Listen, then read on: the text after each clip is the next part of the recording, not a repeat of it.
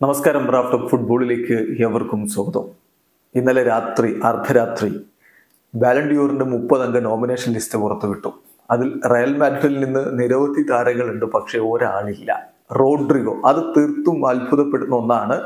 റോഡ്രിഗോയെ തടഞ്ഞത് ഇപ്പോൾ വലിയ ചർച്ചാ വിഷയമായിട്ടുണ്ട്. ആരാധകരൊക്കെ വളരെ വലിയ ജോക്കാണ് എന്ന് പോലും ഇതുമായി ബന്ധപ്പെട്ട് പ്രതികരിക്കുന്നുണ്ട്. എന്നാൽ റോഡ്രിഗോ തന്നെ ഇതിൽ പ്രതികരണവുമായിട്ട് രംഗത്തേക്ക് എത്തിയിട്ടുണ്ട്. അദ്ദേഹം തന്റെ ഇൻസ്റ്റഗ്രാം പേജിൽ ചില കാര്യങ്ങൾ വളരെ കൃത്യമായിട്ട് കൊടുക്കുന്നുണ്ട്. അതായത് അദ്ദേഹത്തിന്റെ കഴിഞ്ഞ സീസണിലെ നേട്ടങ്ങൾ അതിന്റെ ചിത്രങ്ങൾ കിരീടവുമായിട്ട് നിൽക്കുന്ന ചിത്രങ്ങൾ അതുപോലെ തന്നെ കളിയിലെ ചില ഡിസിസീവ് ആയിട്ടുള്ള മൊമെന്റുകൾ ഇതൊക്കെ പങ്കുവെച്ചുകൊണ്ട് അദ്ദേഹം അതിനോട് പ്രതികരിച്ചിരിക്കുകയാണ്.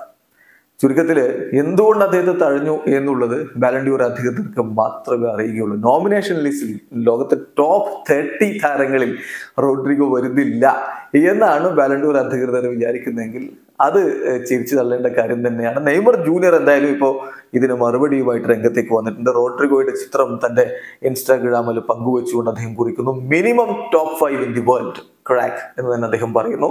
ഇവരുടെ ടോപ്പ് തേർട്ടിയിൽ വേണ്ടെന്നേ മിനിമം ടോപ്പ് ഫൈവിൽ നീ ഉണ്ട് ആഹ് ലോക ഫുട്ബോളിൽ ടോപ്പ് ഫൈവിൽ നീ ഉണ്ട് എന്ന് തന്നെ നെയ്മർ ജൂനിയർ ഇപ്പോൾ പിന്തുണയുമായിട്ട് വന്നുകൊണ്ട് റോഡ്രിഗോയോട് പറയുകയാണ്. ഏതായാലും ഇത് വലിയ ജോക്കായി പോയി. തേർട്ടിയിൽ അതായത് ലോകത്തെ മികച്ച മുപ്പത് താരങ്ങളുടെ ലിസ്റ്റിൽ റോഡ്രിഗോ ഇല്ല എന്നുള്ളത് അത്ഭുതകരമാണ്. ഇവിടെ അവസാനിക്കുന്നു ഫുട്ബോൾ ലോകത്തെ കുടുംബ വിശേഷങ്ങളുമായി റാഫ്റ്റോക്സിന്റെ